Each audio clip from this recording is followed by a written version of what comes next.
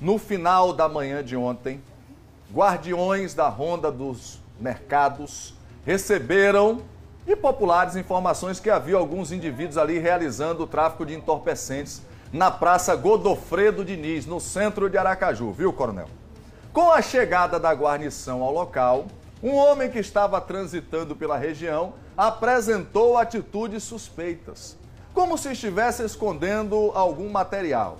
E o policial experimentado, ele conhece. Após a revista pessoal e busca nos pertences e arredores, foi encontrada uma certa quantidade de substância semelhante ao crack, além de dinheiro em espécie em notas miúdas, evidenciando a prática do delito. Diante do flagrante, o suspeito foi conduzido à delegacia, onde foi lavrado o boletim de ocorrência, constatando que o mesmo é egresso, olha aí, é, é egresso, ou Léo falar uma palavra mais simples, que o elemento já esteve preso, pronto, que é um ex-detento, e que todos nós sabemos as informações que nós temos colhidas pelo nosso departamento de jornalismo e as denúncias que chegam para a população, que aquela praça ali é um terror, é um Deus me livre. Aí a polícia vai agir, preste atenção, por isso que eu disse que esse programa aqui nós não damos voz a bandido. Abre esse áudio aí, abre esse áudio aí pro coronel ouvir mais uma vez aí com o telespectador. Tá botando droga pro cara, rapaz. Tá botando droga pro cara, rapaz. Oxente. Tá armando mesmo. Tá botando droga pro cara, rapaz. Tá armando mesmo pro cara. Tá, oxente. Oxente. Tá armando pro cara mesmo. Sabe por que é que nós estamos vivendo esta situação?